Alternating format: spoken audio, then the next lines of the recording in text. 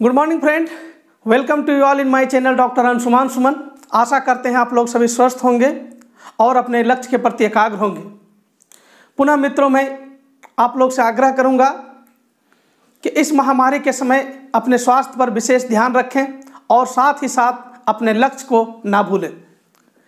चले मित्रों, आपको हमारी वीडियो से लाभ मिले तो यही मेरे लिए सबसे ज़्यादा संतुष्टि का विषय है।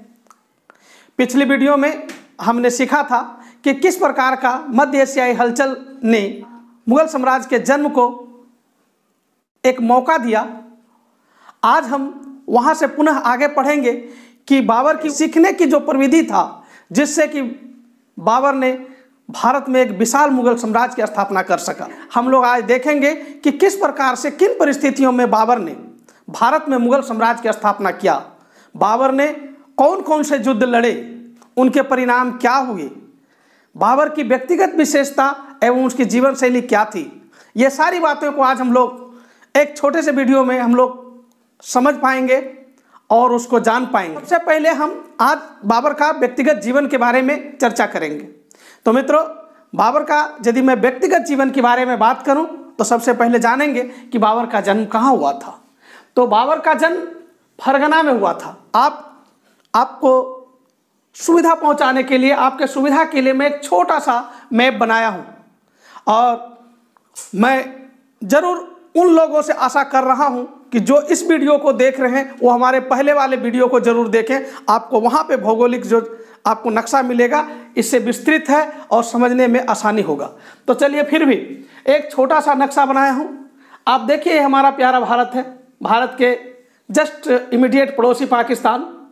और उसके बाद ये अफ़गानिस्तान, ईरान, तुर्कमेनिस्तान और उज्बेकिस्तान। ठीक है? बाबर का जन्म इस एरिया में हुआ था। उज्बेकिस्तान का एक पूर्वी इलाका। ठीक है? जिसका नाम था फरगना। तो मित्रों, हम लोग सीखे कि बाबर का जन्म 14 फरवरी चौदह ईस्वी में फरगना में हुआ था। फरगना कहाँ है? उज्बेकिस्तान का पूर्वी एरिया है। आप फिगर में यहाँ पे देख सकते हैं। ठीक है? अब देखिए कि बाबर का मूल नाम क्या था?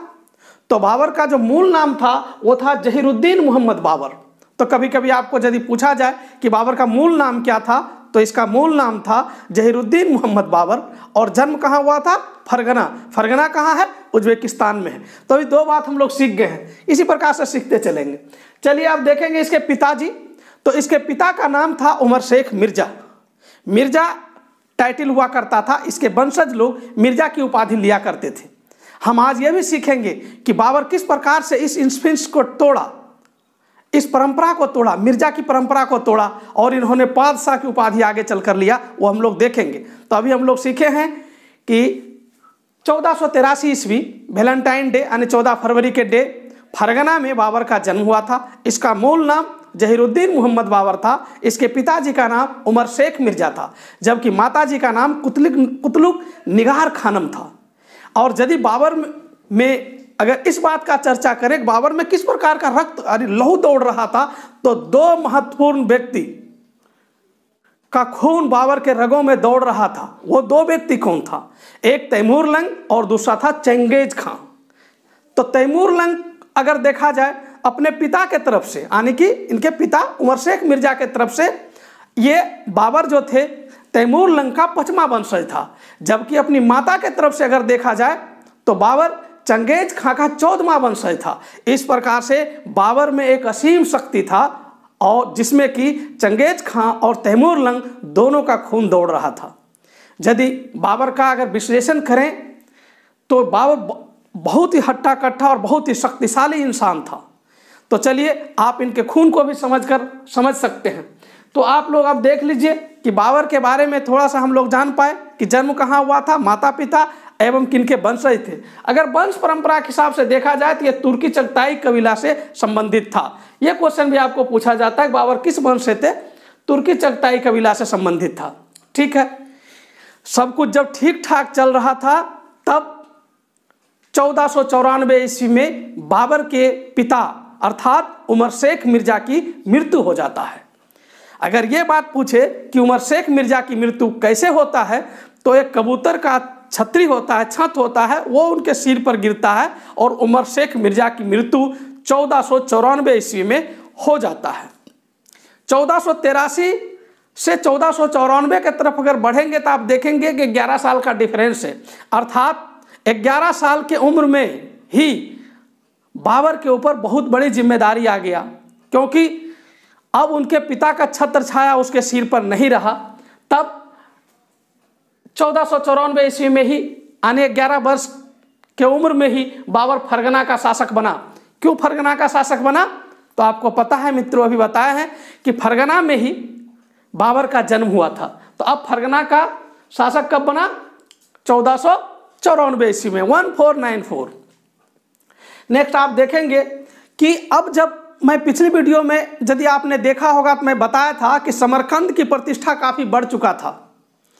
क्योंकि हम लोग बात किए थे कि तैमूर लंका जो पोता था, शाहरुख, उन्होंने साहित्य एवं कला का बहुत ज़्यादा प्रोत्साहन समरकंद में दिया था और इसी के कारण समरकंद की प्रतिष्ठा इस्लामिक जगत में काफ़ी उन्नत हो चुका था। अर्थात सभी इस्लामिक सम्राट चाहता था समरकंद उसके अधीन हो, और बाबर इसका अपवाद नहीं था, बाबर भी चाहता था। पिछली वीडियो में मैं इनका भी चर्चा किया था कि तैमूरिया जो सल्तनत थे, बाबर का संबंध तैमूर वंश से था। तैमूरिया जो सल्तनत था, उसमें बंटवारे का कुछ हमेशा समस्या रहता था बांट बांट करके शासन प्रशासन चलने, चलाने का तरीका वो लोग ढूंढते थे। इसके, इसी के बीच में आपस में संघर्ष होता था। और इसी का एक उदाहरण है कि बाबर चौदह ईस्वी में समरकंद को जीता, जबकि समरकंद पर उनके ही चाचा का अधिकार था। बाबर के ही चाचा का अधिकार था। चौदह ईस्वी में बाबर समरकंद को जीता ज़रूर, लेकिन यह अस्थायी रहा। ठीक है, पुनः बाबर ने, बाबर जो है 1501 ईस्वी में पुनः समरकंद को जीता। लेकिन इस बार जो इनके सगे संबंधी थे, जो इनके विरुद्ध में लड़ रहे थे एक उज्बेक सरदार सेवानी खां का सहयोग लिया बाबर के विरुद्ध, जो कि पिछली वीडियो में हमने इस पर बहुत विशेष चर्चा किया है। आप उसको रेफर करेंगे तो बहुत मज़ा आएगा। तो वो सैवानी खां अब चूँकि बाबर के विरुद्ध लड़ा है, ये उज्बेक सरदार होता है सैवानी खां। बाबर को समरकंद से खदेड़ दिया और जिस युद्ध में खदेड़ा, वो बहुत इंपॉर्टेंट है मित्रों। यदि आप याद कर सके तो याद करिए, इसका नाम था सरे पुल का युद्ध। सरे पल सरे पुल का युद्ध या सर ए कुल, एक ही चीज़ है अलग अलग कहीं कहीं मिलेगा। तो हमने लिखा है सरे पुल या सर ए कुल, एक युद्ध का नाम है।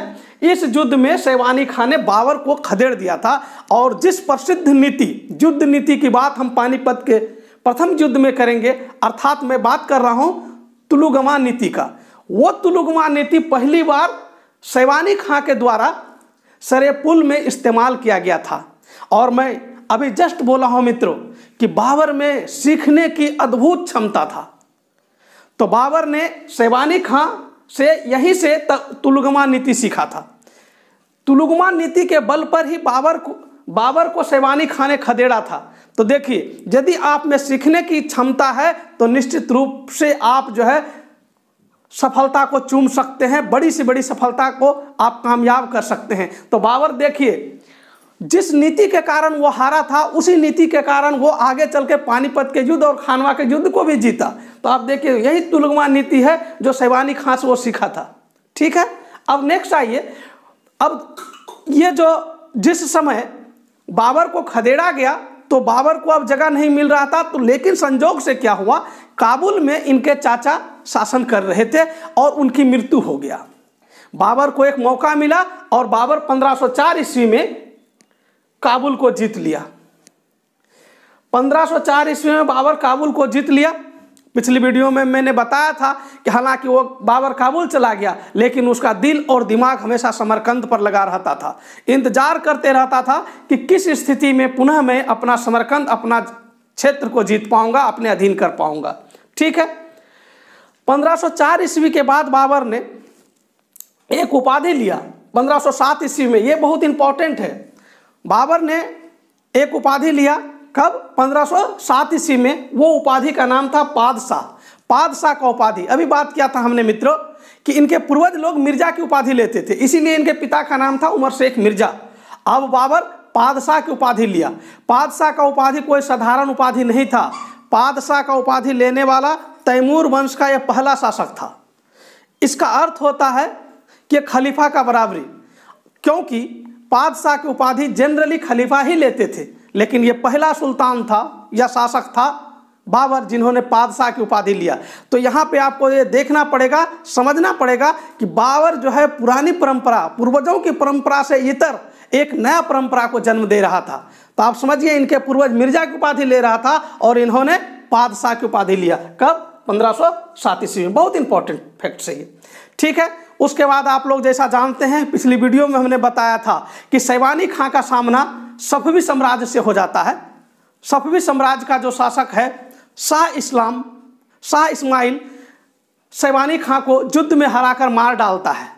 और इस परिस्थिति का लाभ उठाने के लिए बाबर पुनः पश्चिम की ओर रुख करता है और वह समरकंद को जीतने के लिए आता है। और इस बार बाबर उसी सफवी सफवी साम्राज्य का सहायता लेता है। यानी ईरानी फौज का सहायता लेता है और ईरानी जो सफवी साम्राज्य का शासक है, शाह इस्माइल बाबर को सहायता करता है। स्वाभाविक रूप से बाबर जो है समरकंद को पुनः जीत लेता है। लेकिन ऐसा वो अस्थाई फिर से वो अस्थाई नहीं कर पाता है। ऐसा इसलिए कि सैवानी खां के बाद उज्बेक शक्ति कम नहीं हुआ। अबदुल्ला खां के नेतृत्व में उज्बेक शक्ति का और भी उत्थान हुआ और इस बार अबदुल्ला खां बाबर को परमानेंटली निर्णायक रूप से समरकंद से खदेड़ दिया। और जब बाबर पुनः पूरब की ओर आया तो उसको यह महसूस हो चुका था कि अब जो है, उसके लिए पश्चिम का रास्ता बंद हो चुका है। साथ ही साथ मध्य एशियाई परिस्थितियाँ भी बदला। उसमें हम देखेंगे कि बाबर को जो समर्थन करता था, साथ देता था, वह सफवी साम्राज्य था और उसका शासक था शाह इस्माइल। अब संजोग से उस्मानी साम्राज्य से सफवी साम्राज्य का सामना हुआ और उस्मानी साम्राज्य जो है, सफवी साम्राज्य को हरा दिया और शाह इस्माइल मारा गया। ऐसे में बाबर का न तो परिस्थितियाँ अनुकूल था और न तो बाबर के पास कोई ऐसी शक्ति था जिसके बल पर वह समरकंद जीत पाता। अतः अब बाबर जो है पूरब के तरफ़, काबुल से पूरब के तरफ़ ही वो रुख कर सकता था, पश्चिम के तरफ़ नहीं। तो यही वह परिस्थितियाँ था जिसने बाबर को या मौका दिया या बाबर को मजबूर किया कि वह भारत के तरफ़ देखे। और भारत के तरफ़ देखने के लिए और भारत को जीतने के लिए सिर्फ़ यही एक कारण नहीं, इनके अन्य कारण भी थे। तो सबसे पहले हम उन कारणों को समझने का कोशिश करेंगे, जिन कारण से बाबर भारत की तरफ़ आया। ठीक है मित्रों? तो चलिए हम लोग अब कारण को देखते हैं कि बाबर का आक्रमण का कारण क्या था। स्वाभाविक रूप से मित्रों, क्योंकि इसको मध्य एशिया में असफलता मिला था। मध्य एशिया में टिक नहीं सकता था। उज्बेक शक्ति अबेदुल्ला खां काफ़ी शक्तिशाली हो गया था, खदेड़ दिया था। सफवी साम्राज्य का पतन हो रहा था। तो आप समझ रहे हैं कितना इंटरेस्टिंग हो रहा है आपके लिए। बहुत ही आसानी से सारे चीज़ों को आप कनेक्ट कर पा रहे होंगे। दूसरी बात, भारत में धन का भंडार था, ये बाबर को पता था। बाबर को क्यों पता था? क्योंकि बाबर के पूर्वज तैमूर लंग ने भारत को लूटा था और बड़े पैमाने पर धन और कारीगर अपने पास लेके गए थे। उससे वह इस बात को समझता था कि भारत में धन की कमी नहीं, अपार धन संसाधन है, जिससे कि पूरा उसका जो है बेगों के साथ सगे संबंधियों के साथ अच्छा ज़िंदगी गुजार सकता है भारत अगर उसके अधीन हो तो। ठीक है? दूसरी बात बाबर एक महत्वाकांक्षी व्यक्ति था। वह चाहता था कि भारत जैसे देश उसके अधीन में हो इसलिए भी वो आक्रमण करना चाहता था। उसके बाद क्या कारण था? इन बा, इनके बावजूद भी किसी को शक्ति नहीं होता कि वो भारत पर आक्रमण करे यदि भारत में कोई शक्तिशाली सम्राट या सुल्तान रहता। लेकिन संजोग से यहाँ पे इब्राहिम लोदी का शासन चल रहा था। लोदी वंश का यह अंतिम शासक अयोग्य शासक था। ये भी उनको मौका दे रहा था। उसके बाद क्या था? भारत की अगर और स्थिति देखें तो भारत उस समय सत्ता के विकेंद्रीकरण के दौर से गुजर रहा था। सत्ता का विकेंद्रीकरण का मतलब एक किसी खास व्यक्ति के हाथ में सत्ता का केंद्रीकरण नहीं था।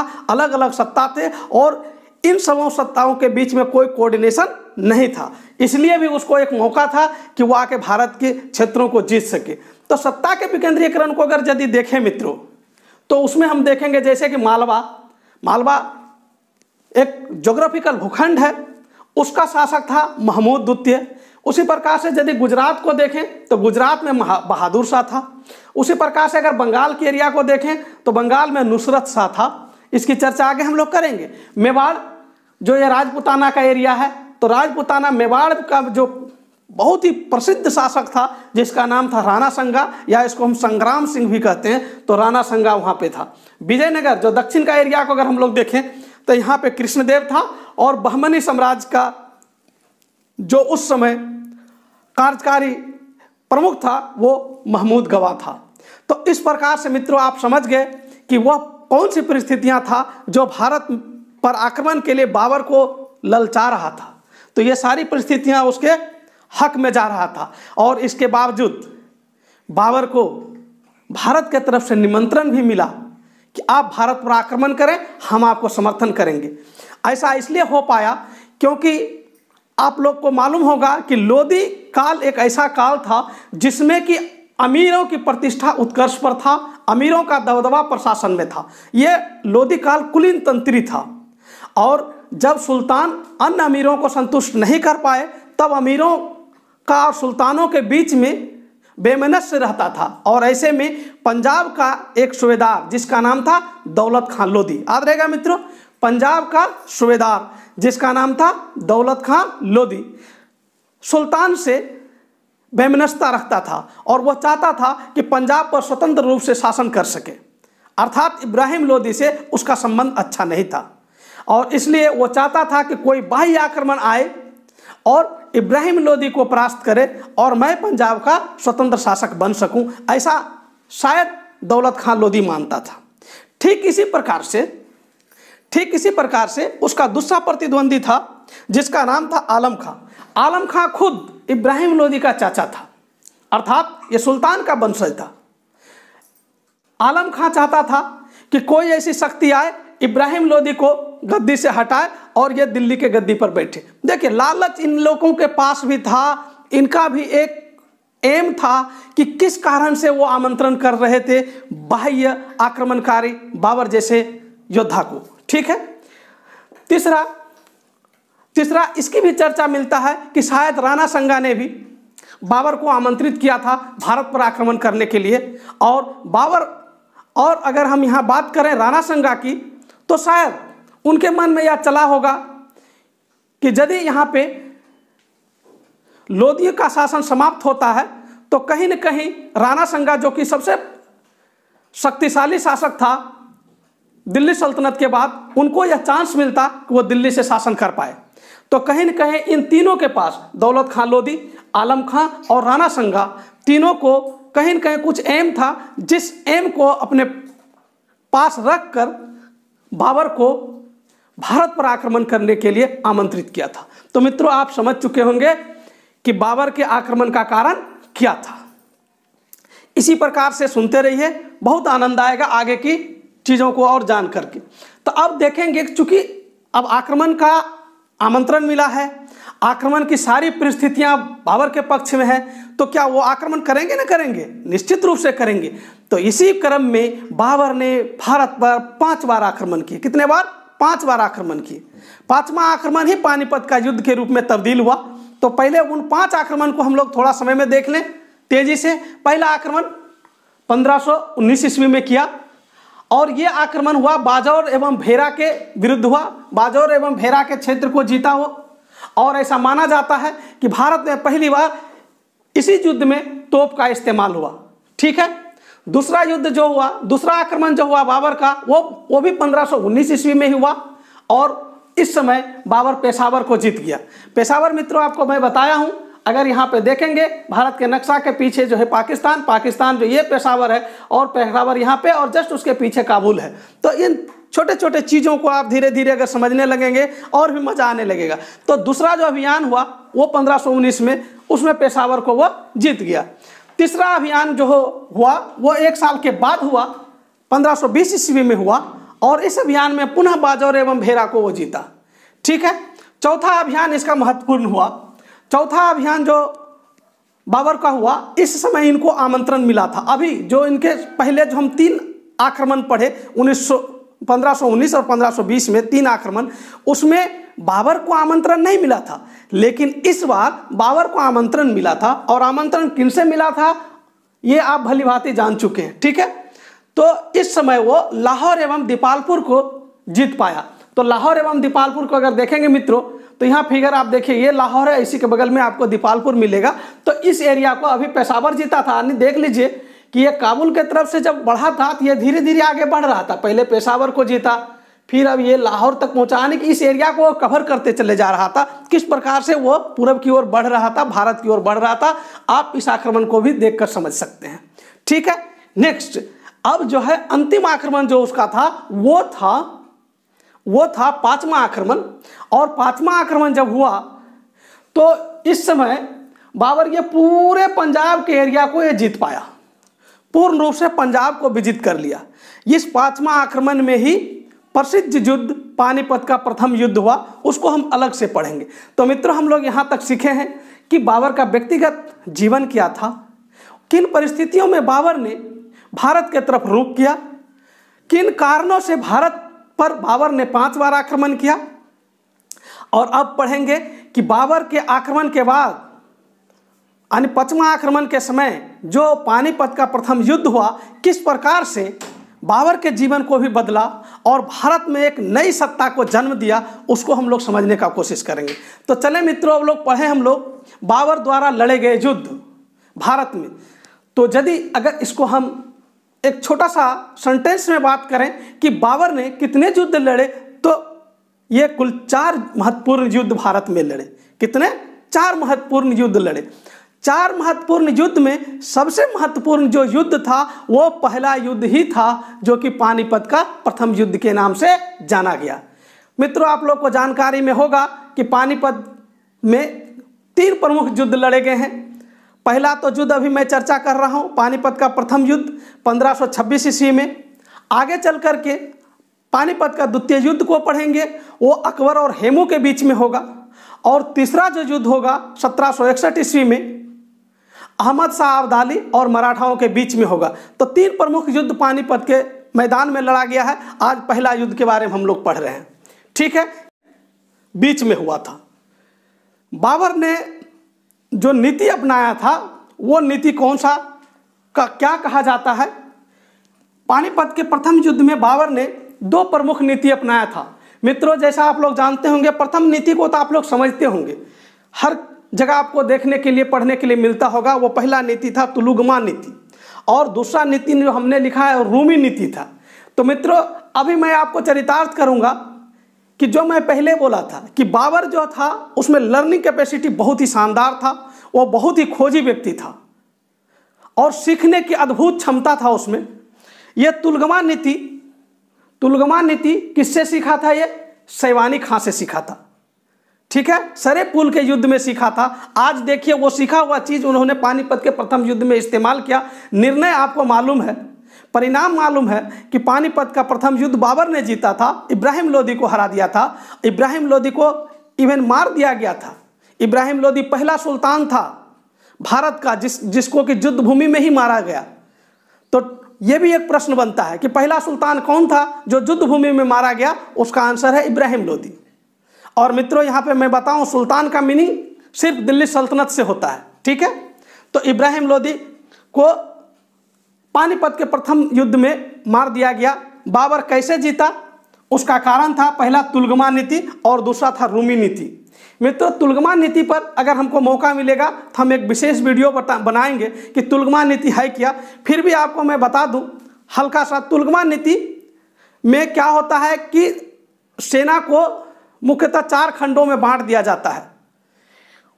जो मध्य का सेना होता है, मध्य की पंक, बीच की जो पंक्ति होता है उसमें सेना को एक आगे और एक पीछे और बीच में बैलगाड़ी को जोड़ दिया जाता है और बैलगाड़ी को रस्सा से जोड़ा जाता है और उसके पीछे तोप खाना रहता है। और जो बाया जो सैनिक होता है और दाया सैनिक, वो दोनों क्या होता है? सीधा तेज़ी से निकलता है और विपक्षी, यानी कि दुश्मन सेना के इर्द गिर्द घिर घिर जाता है, यानी कि घेर लेता है दोनों तरफ़ से। और जब अचानक अटैक होता है तो दुश्मन सेना को पता नहीं चल पाता है कि आखिर अटैक किस प्रकार से इतना तेज़ी से क्यों हो रहा है।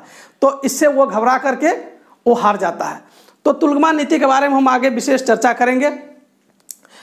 रूमी नीति क्या है? रूमी नीति जो है, बाबर ने यह उस्मानी साम्राज्य से सीखा था। यह कैसे सीखा? मित्रों, आपको मैं बताऊँ, उस्मानी साम्राज्य का सामना सफवी साम्राज्य से हुआ था। और आपको मैं बताया था कि उस्मानी साम्राज्य ने सफवी साम्राज्य के शाह इस्माइल को हरा दिया था और शाह इस्माइल को मार भी दिया गया था। उस समय जो नीति उस्मानी साम्राज्य ने अपनाया था, वो बाबर उसको सीखा कि आखिर कौन सा, आखिर क्या था जो उस्मानी जीता। तो उसमें उस्मानियों ने क्या किया था कि बैलगाड़ियों को और गाड़ियों को इस प्रकार से जोड़ा था कि बीच में तोप या बड़े बंदूक रखने का जगह बनाया था और उस जगह पे रख करके, बंदूकों को रख करके दुश्मन को निशाना बनाया जाता था। वो बैलगाड़ियों के बीच में उसके सैनिक सुरक्षित भी होते थे और निशाना बनाना भी आसान होता था, उसको बोलते हैं रूमी नीति। तो इस प्रकार से आप लोग देख लिए कि बाबर में जो है सीखने की अद्भुत सॉरी, क्षमता था और अपने सीखने की क्षमता से बाबर ने ही, बाबर ने इस युद्ध को आसानी से जीत पाया। तो मित्रों, मैं भी आपसे आह्वान करता हूँ कि आप लोग भी यदि किसी भी विषय वस्तु को अगर देखते हैं, समझते हैं और उसकी सफलता को आप जानते हैं तो उस, उन चीज़ों को सीखिए और जीवन में इम्बाइव कीजिए। बाबर ने इम्बाइव किया और एक विशाल सेना, इब्राहिम लोदी की बड़ी सेना थी, बाबर की एक छोटी सी सेना थी, फिर भी तुलगमा और रूमी नीति के वजह से बाबर ने इब्राहिम लोदी को हरा दिया। ठीक है? नेक्स्ट हम देखते हैं कि इसमें जो है, बाबर ने दो प्रमुख तोपची का इस्तेमाल किया था। इसके बारे में भी पूछता है, मैं लिख दिया हूँ, उस तोपची का नाम। पहला का नाम था मुस्तफ़ा और दूसरे का नाम था उस्ताद अली। दो प्रमुख तोपची थे। और यदि इस पानीपत के प्रथम युद्ध की और विशेषता की बात करूँ तो यहाँ पे बाबर को ग्वालियर के शासक विक्रमजीत से कोहिनूर हीरा प्राप्त हुआ था। ऐसा माना जाता है कि जब विक्रमजीत की मृत्यु हो जाता है युद्ध क्षेत्र में तो उसकी विधवा, यानी विक्रमजीत की विधवा, ग्वालियर, नरेश की विधवा, बाबर को कोहिनूर हीरा देता है और यह युद्ध का जब लूट का बंटवारा होता है तो यह जो कोहिनूर हीरा है, वह हिमायू को मिलता है हिस्से में। ठीक है? और अगर बाबरनामा का, अगर बात करें, बाबरनामा, बाबर द्वारा रचित आत्मकथा है, जिसको तुजुके बाबरी कहते हैं, आगे हम लोग पढ़ेंगे। उसमें बाबर खुद यह बताया है कि पानीपत का जो प्रथम युद्ध था, उसमें जीत का श्रेय अगर किसी को देना होगा तो हम तीरंदाजों को देंगे। तो यहाँ पे बहुत बड़ा बात है मित्रों, लोगों को लगेगा कि जो तोपची लोग थे, वो पानीपत के प्रथम युद्ध को जीते, लेकिन बाबर के अनुसार से जो युद्ध का हीरो था, वो तीरंदाज लोग थे। ठीक है? तो पानीपत के बारे में हम लोग अब समझ पाए मित्रों। अब देखेंगे अगला युद्ध। ये पहला युद्ध था पंद्रह सौ छब्बीस ईस्वी में, पानीपत का युद्ध, और पंद्रह ईस्वी में अगला जो युद्ध था वो खानवा का युद्ध था। पानीपत के प्रथम युद्ध से भी बाबर इतना शक्तिशाली नहीं हो पाया था। हाँ इतना ज़रूर कहा सक, कहा जा सकता है कि पानीपत के प्रथम युद्ध ने मुगल सत्ता को जन्म दिया जो कि सदियों से वर्षों से चला आ रहा दिल्ली सल्तनत की सत्ता को अब उखाड़ फेंका और एक नए सत्ता को जन्म दिया। कौन? पानीपत का प्रथम युद्ध। लेकिन इतना मानना उचित होगा कि उस समय बाबर अपनी सत्ता के अस्थायित्व को नहीं दे पाया था।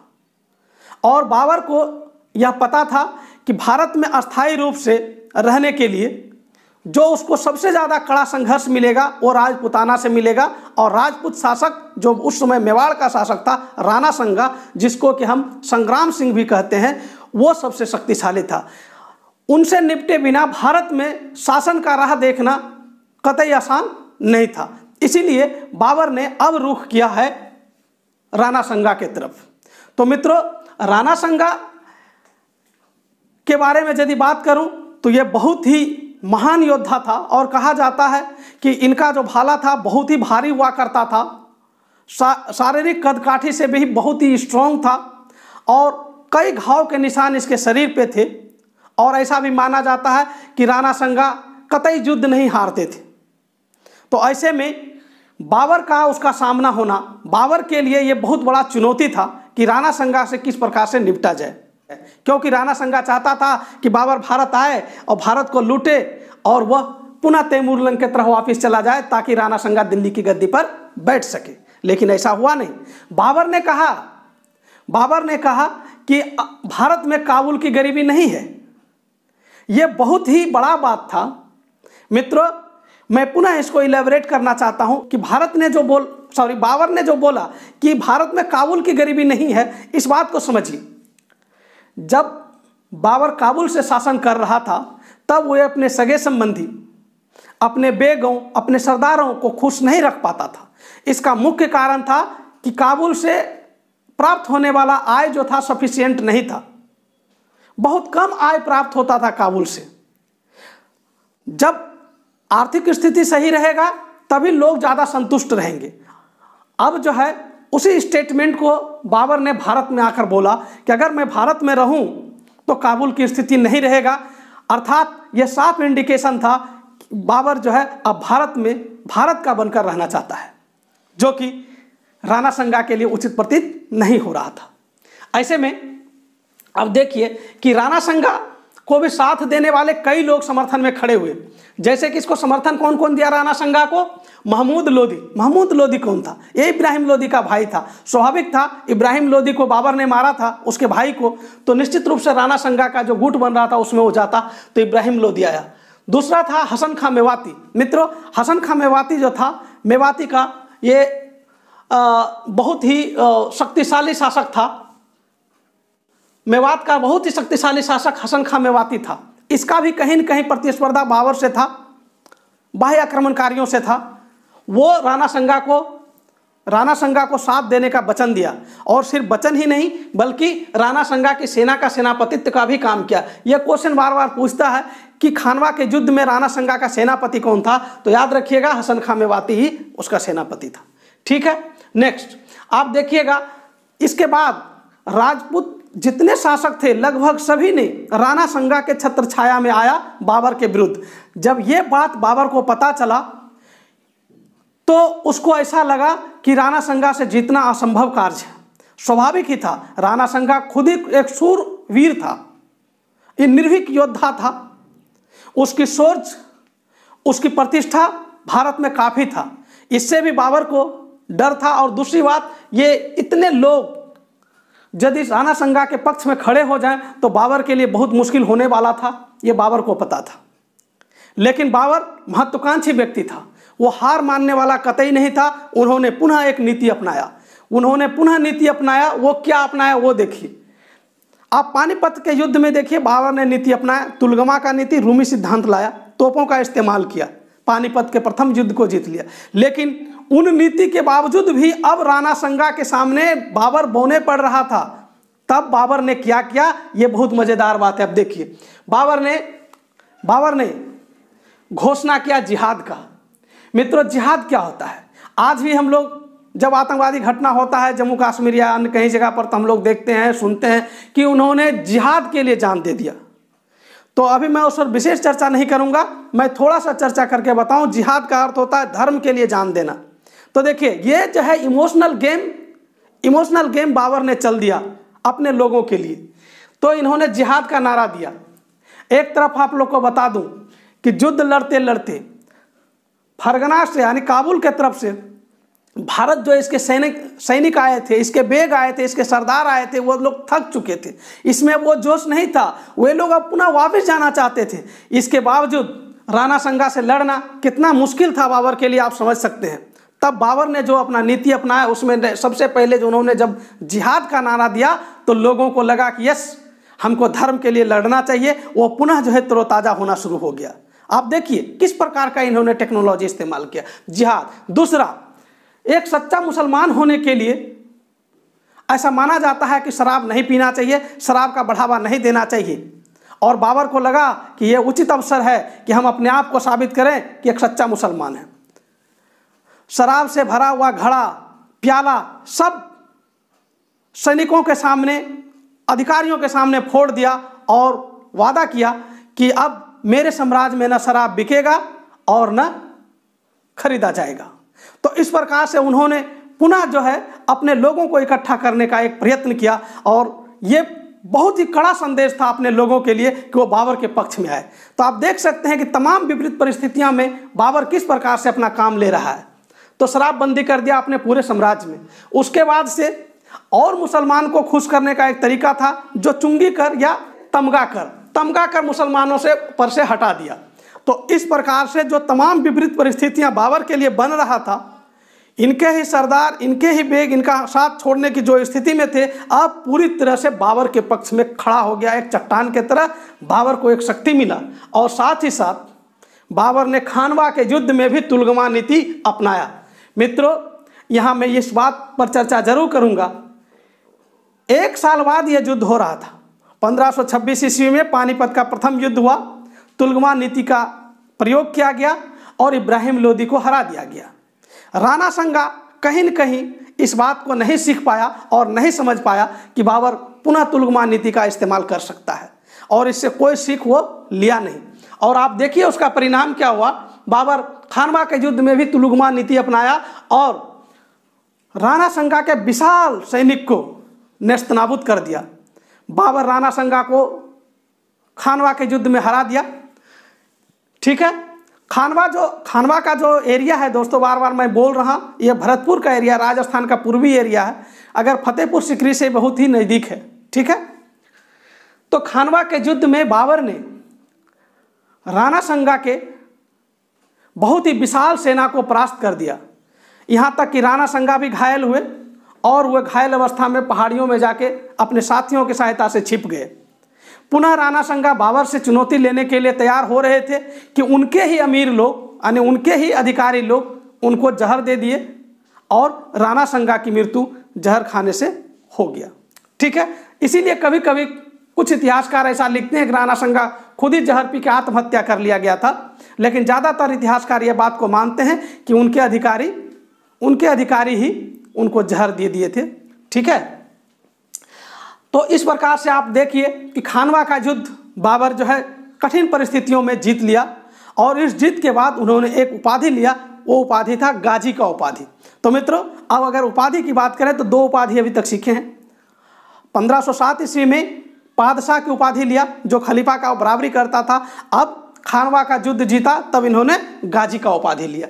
तो अब खानवा का युद्ध हो गया मित्रों। अब हम लोग बात करेंगे चंदेरी का युद्ध। चंदेरी का युद्ध जो है ये मालवा के एरिया में मोदनी राय एक बहुत ही शक्तिशाली शासक था, राजपूत शासक था ये।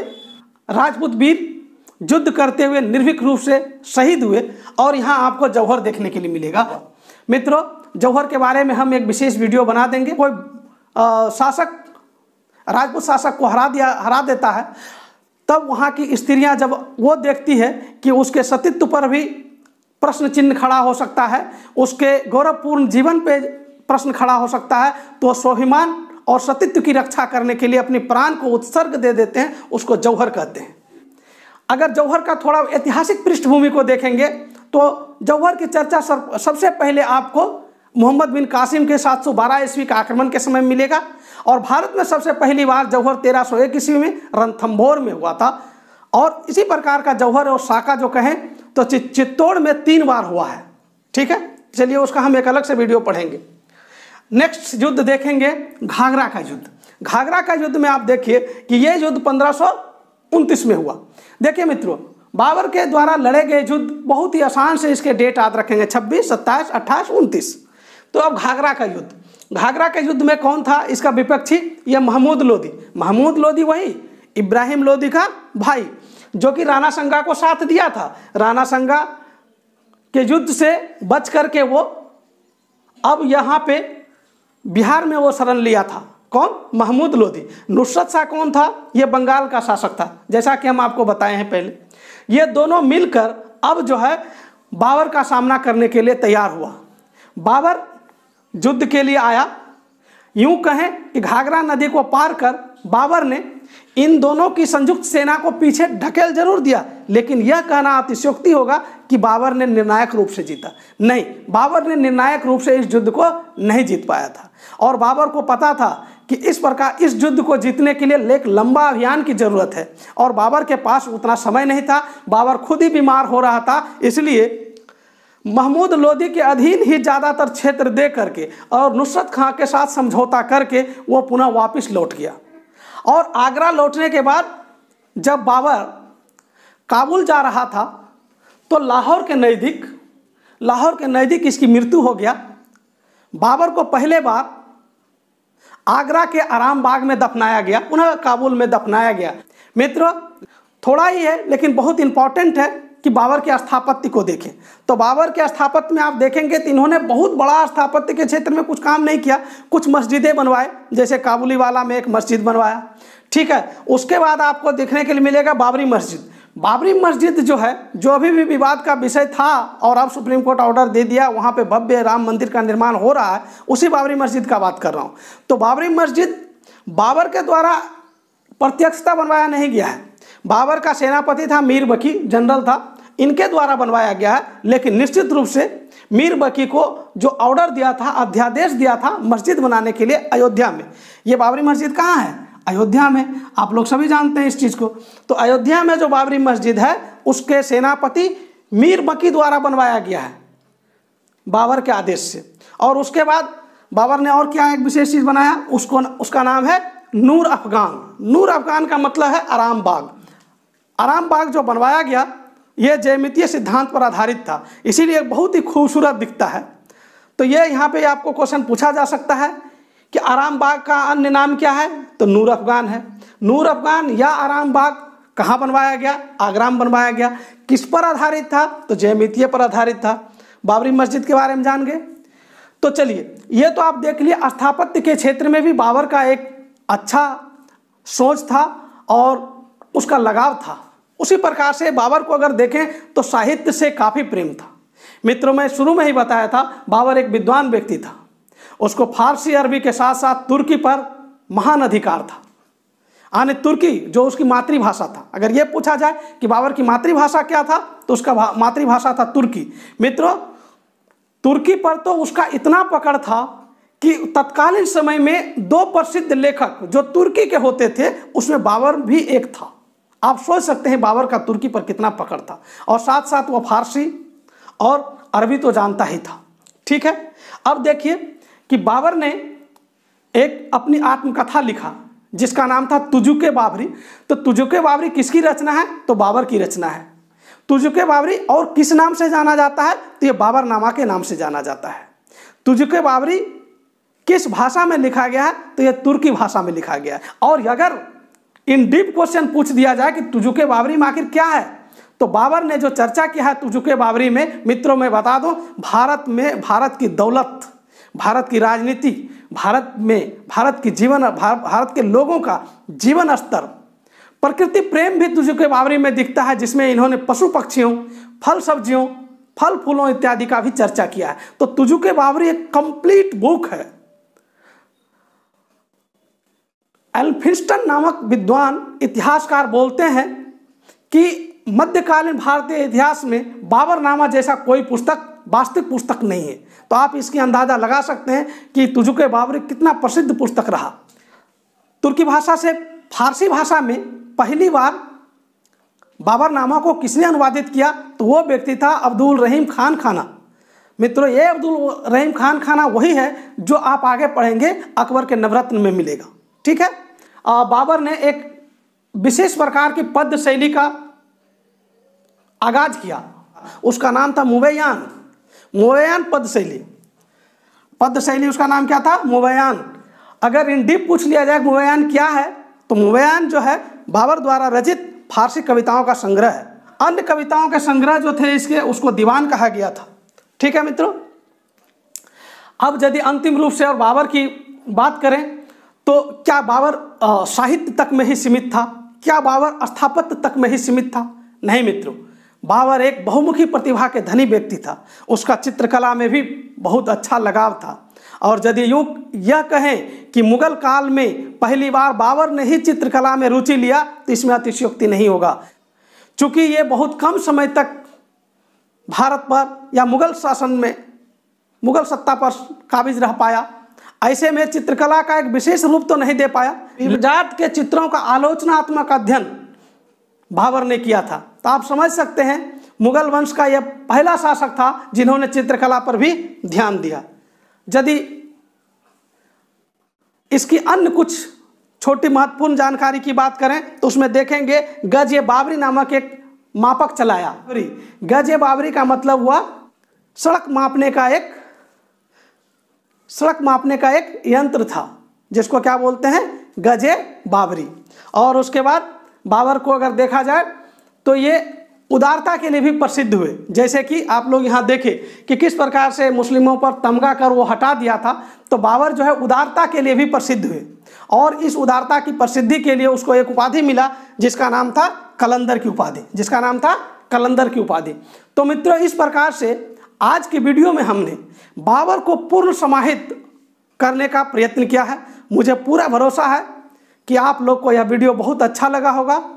निश्चित रूप से इसे सब्सक्राइब कीजिए और शेयर कीजिए। और यदि आपको इस वीडियो से पढ़ करके लगता है कि हम जानकारी प्राप्त कर चाहिए जानकारी प्राप्त किए हैं तो निश्चित रूप से मेरा एक प्रश्न होगा आपसे। आप कमेंट बॉक्स में लिख करके बताइएगा।